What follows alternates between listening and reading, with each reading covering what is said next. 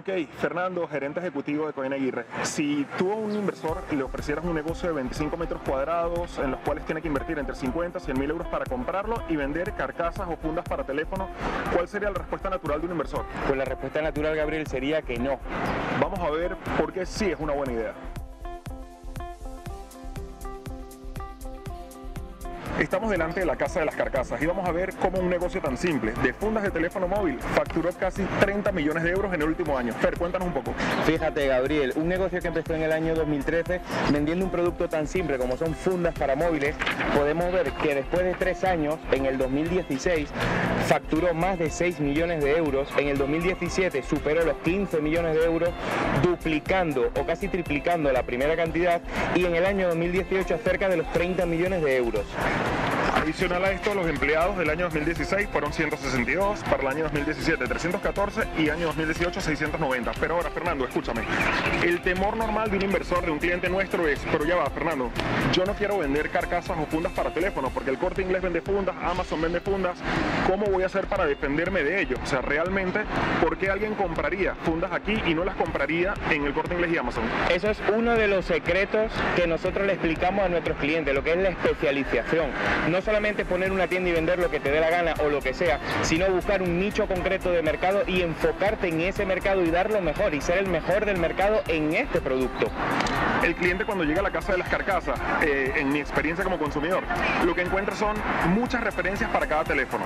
Para un iPhone específico, en el corte inglés, tú puedes encontrar entre 8 o 10 posibilidades. Aquí puedes encontrar 200, 300.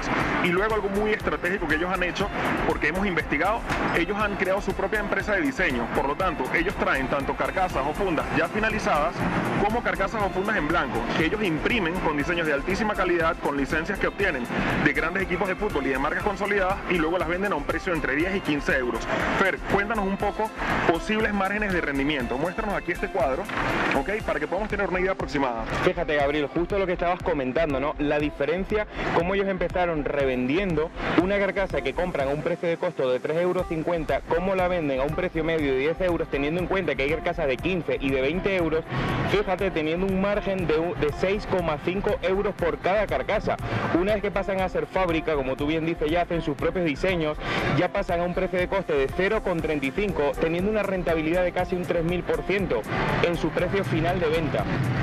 9,65 vendría a convertirse ese margen y si lo llevamos a 100.000 unidades estaríamos hablando de un beneficio de 650.000 a 965.000 solo por cambiar de ser revendedor a ser productor.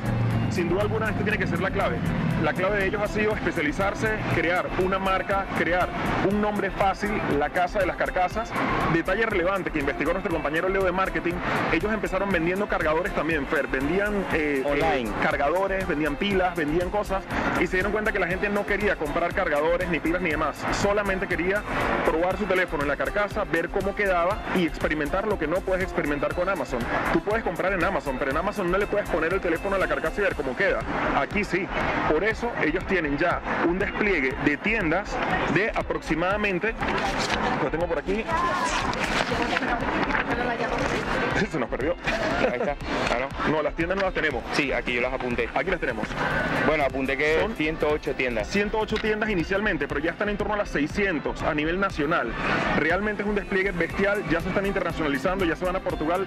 Señores y señoras, vendiendo fundas de teléfono de móvil, carcasas, se pueden facturar 30 millones de euros. Aquí está la demostración. Y ¿Algo a- más, Fer? Sí, aparte le dan un valor añadido al cliente y no es venderte una carcasa, es vender una carcasa diferente a tu gusto y que no solamente eh, eh, va a estar en todos lados, sino que van a ser muy pocas personas las que puedan disfrutar. ¿Por qué? Porque muchos de los diseños son de edición limitada.